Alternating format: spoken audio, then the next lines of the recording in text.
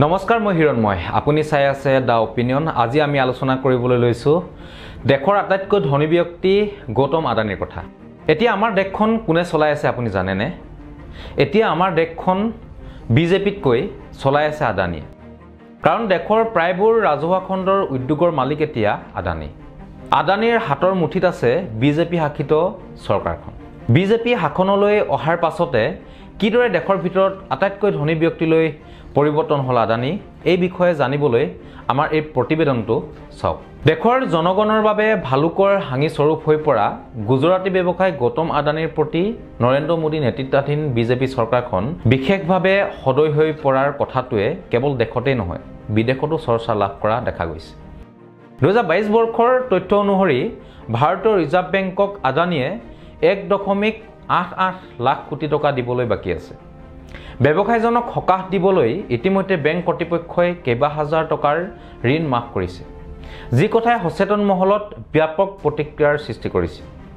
যোৱা দশকটোত মাত্ৰ কেইহাজাৰমান টকাৰ ঋণ আদায় দিব নোৱাৰি সহস্ৰাধিক দৰিদ্ৰ কৃষকে আত্মসননৰ পথ বাছি ল'ব লগা হোৱাৰ পাছত গৌতম আদানীৰ দৰে এজন নোমটেঙৰ ব্যৱসায়ীক হাজাৰ হাজাৰ কোটি টকাৰ ঋণ মাফ কৰা কথাটো দেশৰ গৰিষ্ঠ সংখ্যক জনগণে সহজভাৱে মানি ল'ব পৰা নাই। মাত্ৰ কেইটামান দশকৰ ভিতৰতে বিশ্বৰ অন্যতম ধনী ব্যক্তিৰূপে পৰিগণিত হ'ল গৌতম আদানী। গৌতম আদানীৰ উত্থানক লৈয়ে বিভিন্ন মহলত এতিয়া চৰ্চা আৰম্ভ হৈছে। এটা সময়ত ভাগ্যৰ সন্ধানত আহমেদাবাদৰ পৰা মুম্বাইলৈ অহা ব্যৱসায়ীজনে কুক্ষিগত কৰি ৰাখিছে ৰিজাৰ্ভ বেংকৰ আধাৰো অধিক পুঁজি। অথচ যোৱা আঠ বছৰতকৈ কম সময়ত সেই একেজন আদানীৰ সম্পত্তিৰ পৰিমাণ বৃদ্ধি হৈছে বিছ গুণ পৰ্যন্ত। যোৱা আঠ ন বছৰত আদানীৰ সম্পত্তিৰ পৰিমাণ সাত দশমিক তিনি বিলিয়নৰ পৰা বৃদ্ধি হৈ এশ চল্লিছ বিলিয়ন হৈছেগৈ। যোৱা বৰ্ষত মাত্ৰ এটা বছৰতে তেওঁ এশ ষোল্ল শতাংশ বৃদ্ধি পাইছে। যোৱা দুটা বছৰত আদানী গ্ৰুপৰ কোম্পানীসমূহৰ সকলো ষ্টক এহেজাৰ শতাংশতকৈ অধিক বৃদ্ধি পাইছে। এতিয়া অতি তাৎপৰ্যপূৰ্ণ কথাটো হ'ল যে কেন্দ্ৰত বিজেপি চৰকাৰ অহাৰ পাছতে আদানীৰ সম্পত্তিৰ পৰিমাণ তীব্ৰ গতিত বৃদ্ধি পাইছে। অৰ্থাৎ চিতাবাঘৰ দৰে বৃদ্ধি পাইছে। এই সময়ছোৱাত আদানীয়ে আগবাঢ়ি গৈছে তেওঁৰ চিৰ প্ৰতিদ্বন্দ্বী বুলি ক'ব লাগিব উদ্যোগপতি আম্বানী। বৰ্তমান সময়ত আদানীৰ দৈনিক উৎপাদন আপুনি কিমান জানেনে? আমি ভাবিব নোৱাৰা এটা সংখ্যাৰ তেওঁৰ উৎপাদন দিনটোত। মাইণ্টৰ এটা প্ৰতিবেদনৰ মতে দৈনিক তেওঁৰ উৎপাদন হৈছে ষোল্লশ বাৰ কোটি টকাতকৈও বেছি। চলে বলে কৌশলেৰে দেশৰ প্ৰায় প্ৰতিটো লাভজনক ব্যৱসায়ীকে নিজৰ হাতলৈ অনাত কোনো ত্ৰুটি নৰখা ব্যৱসায়ীজনৰ কৰ্মকাণ্ড আৰু তেওঁৰ প্ৰতি নৰেন্দ্ৰ মোদী চৰকাৰখনে দেখুওৱা অহেতুক প্ৰীতি এতিয়া সচেতন মহলত ব্যাপক চৰ্চাৰ বিষয় হৈ পৰিছে। বহুতে তেওঁ উদ্যোগপতিতকৈও ৰাজনৈতিক সুবিধাভোগী বুলিহে অভিহিত কৰিছে। একাংশইতো তেওঁক স্পষ্টভাৱে ৰাছিয়ান ষ্টাইল আলিগড় বুলি অভিহিত কৰিছে।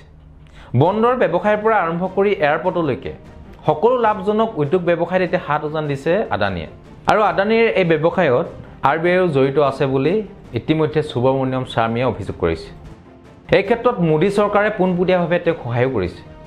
এয়া দেশৰ বাবে কিন্তু অতি বিপদজনক।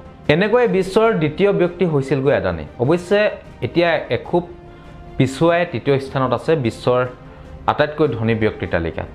বিশেষকৈ বেংকক দিবলগীয়া ধাৰৰ অংকটোৰ কথা উনুকিয়াই দি বহুজনে এই কথা কৈছে যে এটা সময়ত দেশৰ অৰ্থনীতি ভাঙি নপৰাকৈ ৰাখিবলৈ আদানীৰ সাম্ৰাজ্যখন বৰ্তাই ৰখা পৰিস্থিতি উদ্ভৱ হ'ব পাৰে। কিয়নো আদানীক দিয়া ধাৰৰ পৰিমাণে ইতিমধ্যে সীমা চেৰাই গৈছে।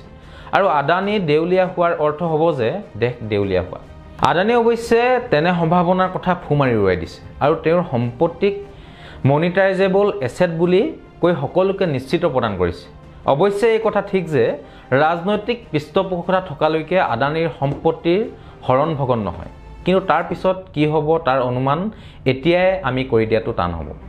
আন এটা তাৎপৰ্যপূৰ্ণ কথা হৈছে আদানীৰ আগ্ৰাসী মনোভাৱ।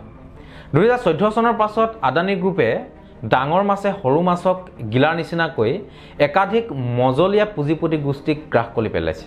নিজৰ বাহিৰে আন কোনো পুঁজিপতি গোষ্ঠীকে আদানীয়ে উঠিবলৈ দিয়া নাই। আম্বানীৰ দৰে উদ্যোগপতিয়েও তীব্ৰ প্ৰতিদ্বন্দ্বিতাৰ সন্মুখীন হ'ব লগা হৈছে আদানী। অম্বুজা এ চি চিৰ নিচিনা বৃহৎ চিমেণ্ট কোম্পানীয়ে নিজকে আদানীৰ গ্ৰুপৰ ওচৰত সমৰ্পণ কৰিব লগা হৈছে। শেহতীয়াকৈ একাধিক নতুন ব্যৱসায়ত হাত উজান দিয়া ব্যৱসায়ীজনৰ উচ্চাকাংক্ষা দেশৰ জনগণৰ বাবে আশীৰ্বাদ নে অভিশাপ সেয়া এতিয়া আপোনালোকেহে বিশ্লেষণ কৰিব। ধন্যবাদ চাই থাকিব দ্য অপিনিয়ন।